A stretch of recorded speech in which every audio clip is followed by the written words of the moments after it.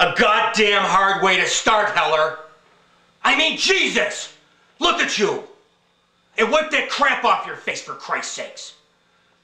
Do you hear me? A goddamn bloodbath happened down in that apartment building. They're still cleaning your partner up off the sidewalk. You know I got four innocent people down at the ER, each one of them getting a bullet pulled out of their ass. You fired at a perp when he was surrounded by bystanders. What the hell's wrong with you? Oh, you know that girl you tried to save? Her mother's pressing charges for misconduct. She died. This is a front page screw up by one of Boston's finest. You know what the best part of this charade is? you didn't get the bad guy. You let him slip right through your fingers. If you would have done nothing, it would have been better.